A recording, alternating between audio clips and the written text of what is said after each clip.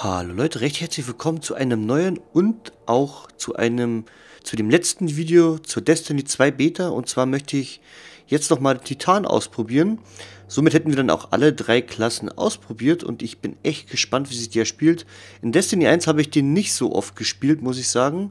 Nur wo mir wirklich extrem lange, langweilig war und ich gar nichts mehr zu tun hatte, da habe ich den dann mal ausprobiert. War aber, muss ich sagen, nie so meine Klasse. Ich glaube, es ist halt eher Geschmackssache, aber ich würde sagen, wir probieren den jetzt natürlich noch aus. Dann habt ihr somit mal alle Klassen gesehen und könnt euch ja selber dann ein Bild drüber machen, was euch hier am besten gefällt. Schreibt es mir auf jeden Fall mal in die Kommentare, welche Klasse euch denn am besten gefällt. So, ich würde sagen, die Sequenz skippen wir wieder. Das haben wir ja schon ein paar Mal gesehen jetzt.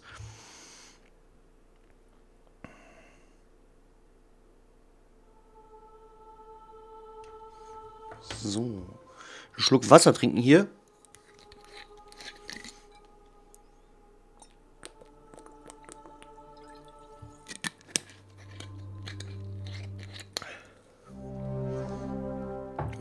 Skippen wir auch wieder diese Fre äh, Sequenz, Frequenz, Sequenz.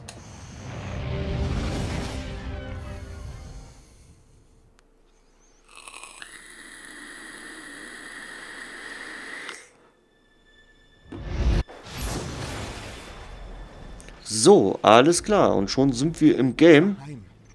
Alles ist zerstört. Der Turm, die Stadt. Gibt es auch wieder einen Stürmer, den gab es auch schon aus der Destiny 1 Zeit. Und wir stellen auf jeden Fall uns den Sentinel an. Bei voller Superenergie drücke und halte L1 und R1, um eine schützende Kuppel zu erzeugen, die dich und deine Verbündeten abschirmt. Okay, so eine Art Bubble können wir hier machen. Gerade Mauer, gerade äh, Gegner heftet und zweimal explodiert. Fähigkeiten einsetzen, alles klar. Turm oder Barrikade drück und halte Kreis, um eine große Barrikade zu erzeugen, die benutzt werden kann, um eine Position mit Deckung vor feindlichem Feuer zu schützen. Alles klar, das ist praktisch so eine Art Schild oder sowas. Äh, Schusswechselbarrikade. Drück und halte Kreis, um eine kleine Barrikade zu erzeugen, die durch, äh, durch die du mit deinem Visier zielen kannst und deine ausgerüstete Waffe sofort nachlädt, wenn, die, wenn du in Deckung gehst. Okay, das sind die Schwebefähigkeiten, das sind die Granaten. Ich würde sagen, das lassen wir jetzt mal so und schauen uns das doch mal dann im Detail im Kampf an. Vom Sprung her ist er, schätze ich mal, so wie der Warlock auch. Kabale!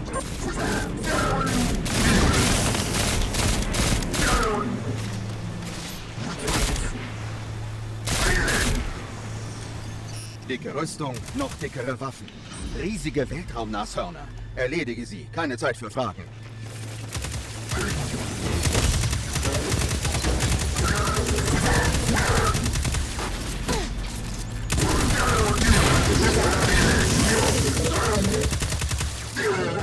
Hier Commander Zavala. Zivilisten, begebt euch zu den Evakuierungspunkten. Hüter, zur Piazza. Unsere Stadt wird nicht fallen.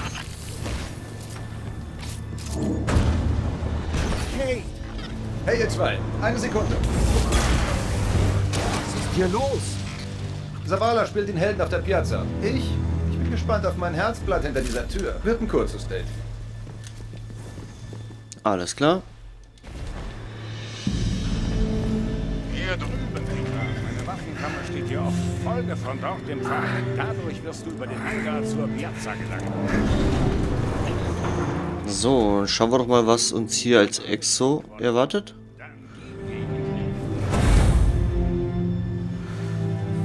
Du hast eine neue Waffe erhalten. Alles klar. Was haben wir denn bekommen? Arbeitstier, Automatikgewehr, sehr geil.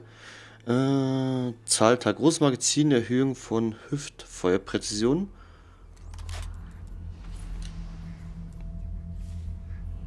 Eine Rückstoßverringerung. Großkaliberschüsse aus, weiter, aus dieser Waffe werfen Ziele weiter zurück. Wenn man Abzug gedrückt hat, bekommen Reichweite und Feuerrate der Waffe einen Schub und Munitionsaufnahmen werden automatisch ins Magazin geladen. Okay, dieser Fall ne, irgendwann Doppelzweckschaft erhöht Stabilität leicht, erhöht Waffenbereitschaftstempo leicht. Okay, müssen wir uns anschauen. Sieht aus wie so eine Minigun von Terminator.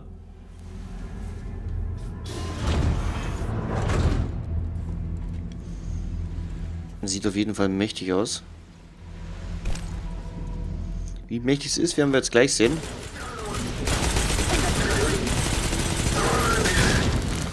Alles klar. Die hat auf jeden Fall Bums. Aber man hat eben auch nicht viel Munition.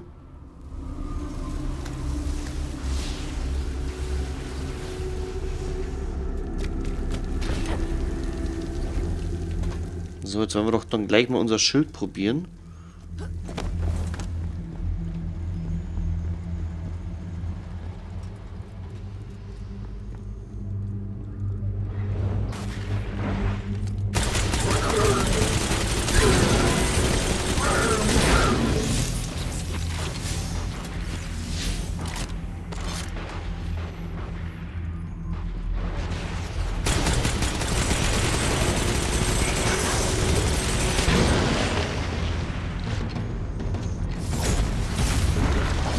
Okay, ich würde sagen, wir tun unser Schild mal aufbauen.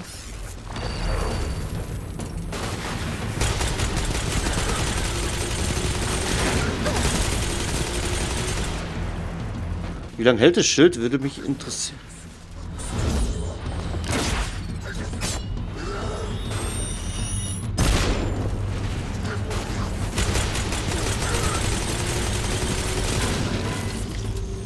Okay, ich würde möchte mal wissen, habe ich, habe ich, ist das Schild nur eine bestimmte Zeit da oder muss man das kaputt machen, dass es weggeht?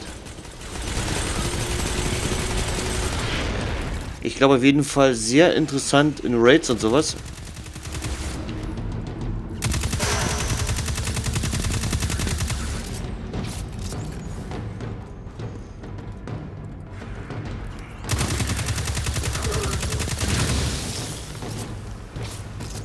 Wenn ich es jetzt nur kurz benutze...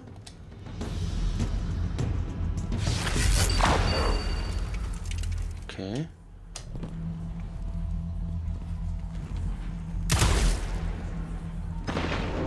Auf jeden Fall ein cooles Gimmick. Er ist halt wirklich auch ein Wächter sozusagen.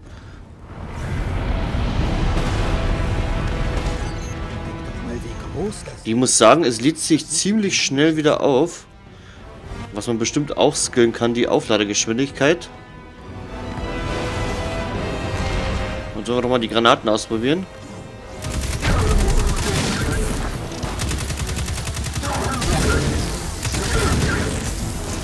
Ah, die Waffe ist schon sehr mächtig.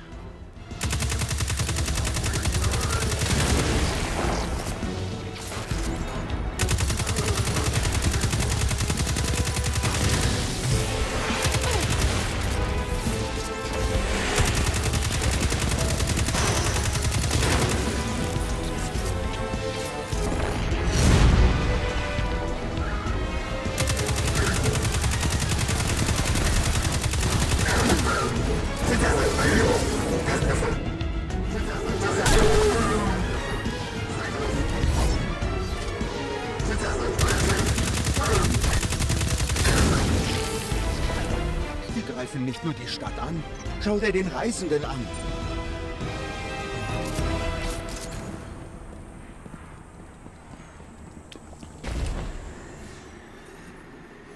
Okay, mein Geist identifiziert diese Kabale andauernd als Rotlegion. Cora, weißt du was?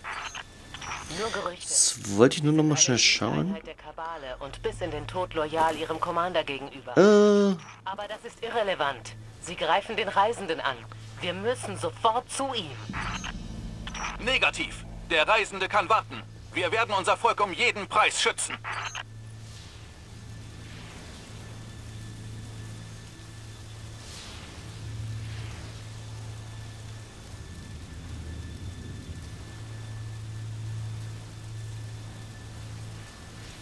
okay.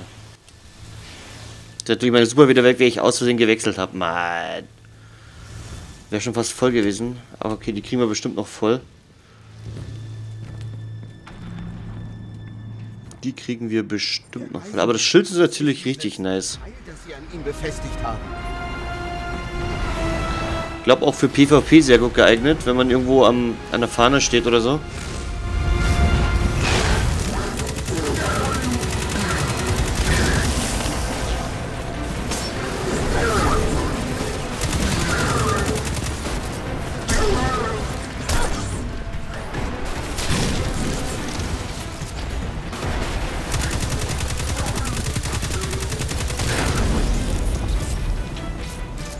Die Rotlegion ist gut ausgebildet, aber wir sind besser. Wir halten die Stellung, bis der letzte Zivilist in Sicherheit ist.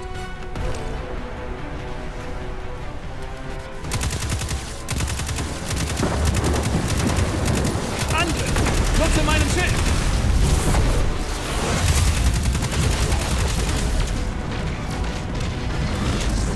Sie dürfen das Tor nicht erreichen. Die Rettungsshuttles sind da drüben.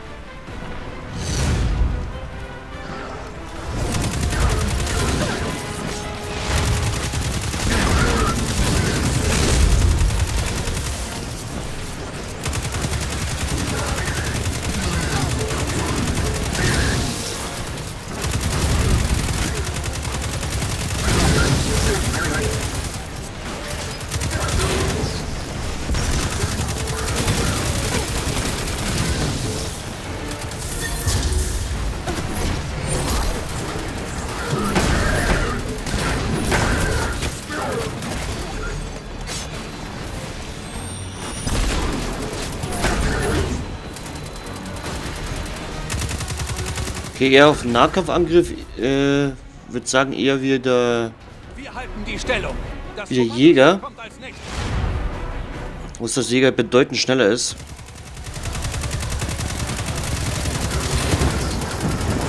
Oh, Waffe ist leer.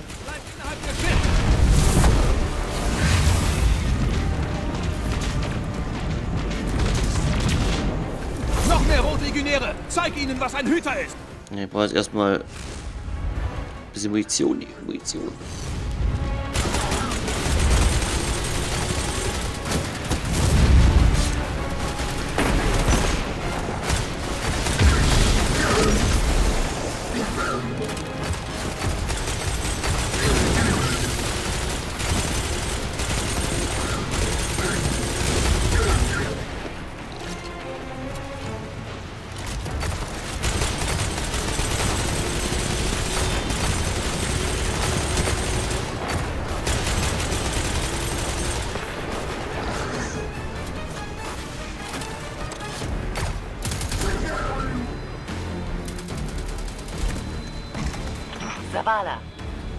letzte Shuttle ist weg.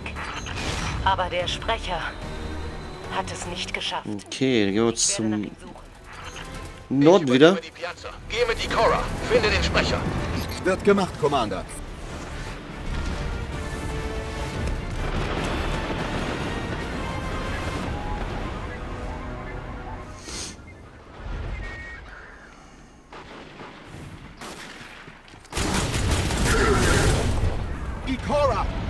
Der Sprecher ist weg. Rotlegion, ihr werdet niemandem mehr schaden. Und von mir könnt ihr keine Gnade erwarten. Zavala! Sie wird den Sprecher finden. Wir müssen zum Kommandoschiff. Begib dich zum Nordturm. Amanda Holiday wird dich abholen.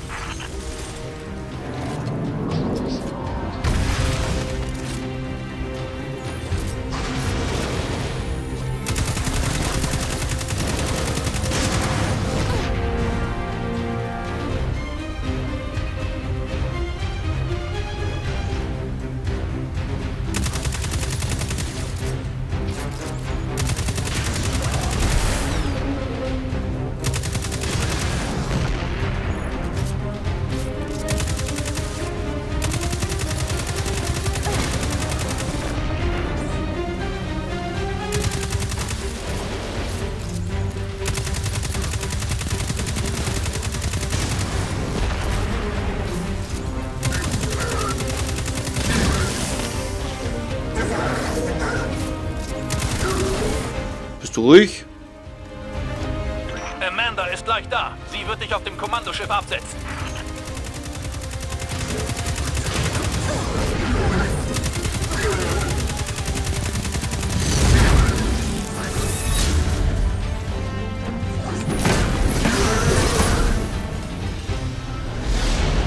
Okay, der ging relativ schnell down. Wie auch beim Warlock auch schon.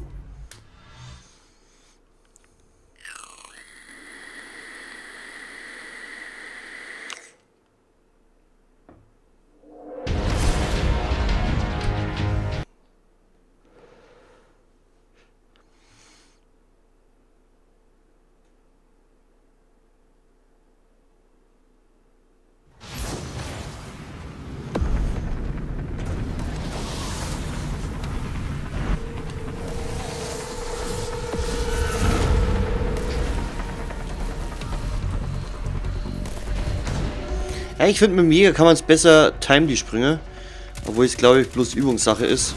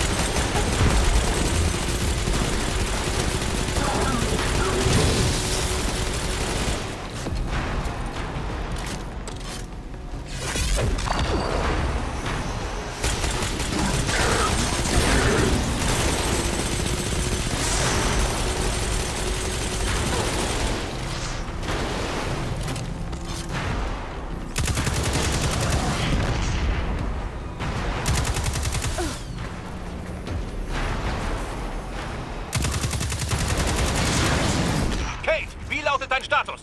Okay, der Schild ist echt Die nice. Das Ding mit der Flammenpistole läuft nicht mehr so gut. Hat jemand von Ikora gehört? Nicht seitdem sie nach dem Sprecher suchte. Information! Information bei mir!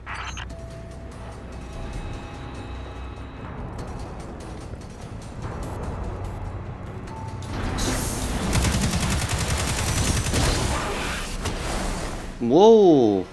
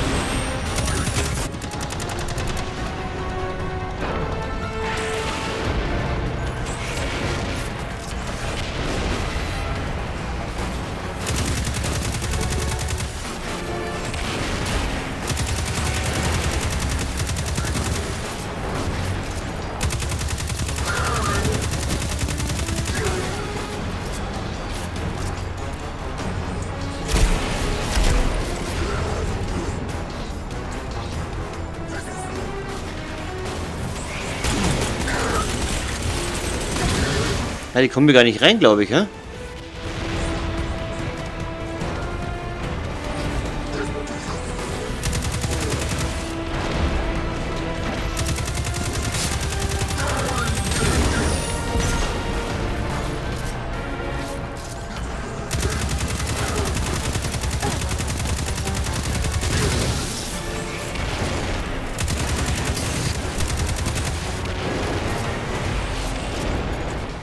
Aufpassen hier.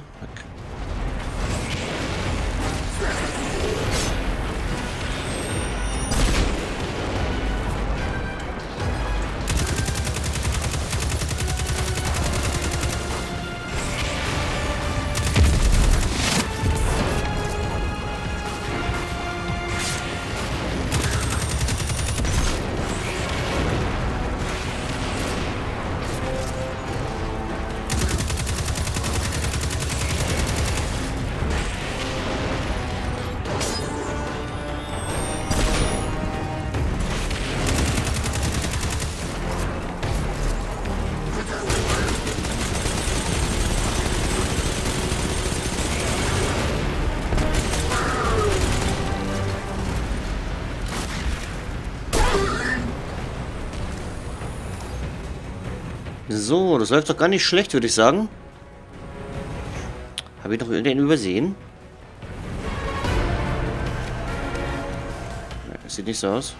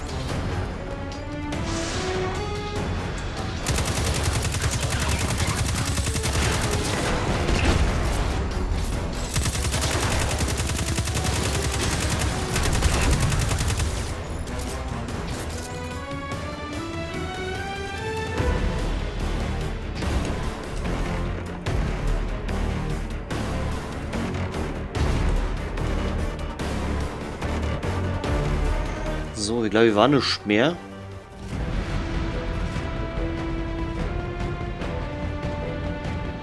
Der Schildgenerator sollte direkt vor uns sein.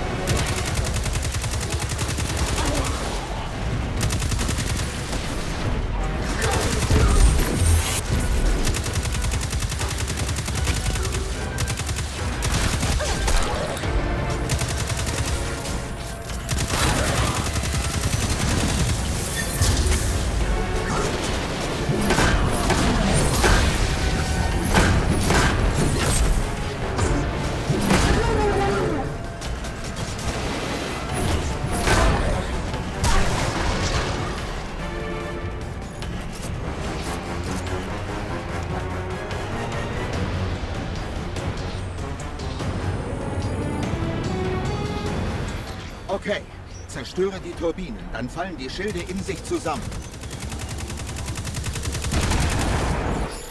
Ja, genau so.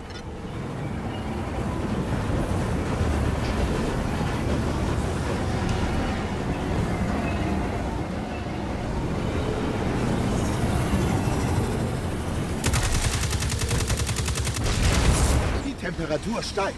Es funktioniert.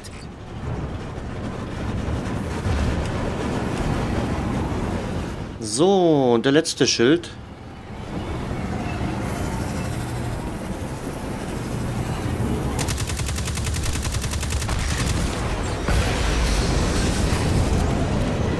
Zavala, geschafft.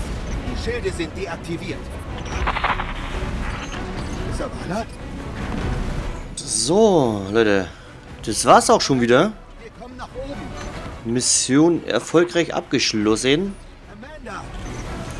Und ich muss sagen, wie auch in Destiny 1, äh, ist nicht so mein Ding, würde ich sagen, aber ist auf jeden Fall interessant. Also muss man mal schauen, wie sich der Titan entwickelt. Mit seinem Schild ist auf jeden Fall sehr, sehr interessant. was sollen wir bloß tun? Nichts. Willkommen in einer Welt ohne Licht.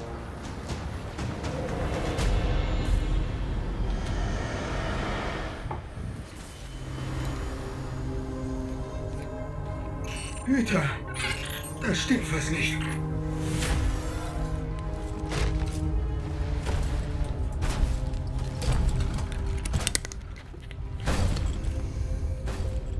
Schau mich nicht an, du Kreatur.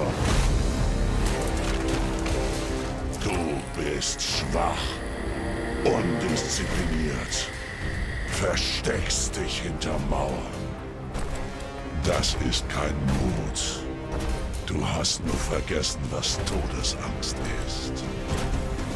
Erlaube mir, dich zu erinnern.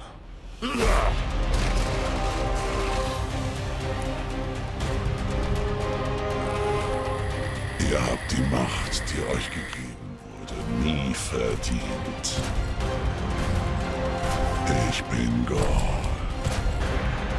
Und dein Licht ist mein.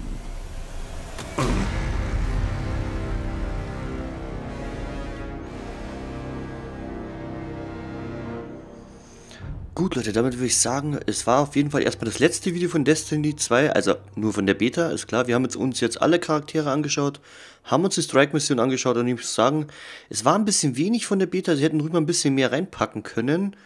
Also, hm, zwiespältiges Ding, aber ich glaube trotzdem, dass das Spiel richtig, richtig geil wird. Aber wie gesagt, wenn man so eine Beta spielt, will man einfach mehr spielen. Genau, dann würde ich sagen, wenn es euch ein bisschen gefallen hat, lasst mir auf jeden Fall einen Kommentar einen Daumen nach oben oder auch ein Abo da, wenn ihr lustig seid.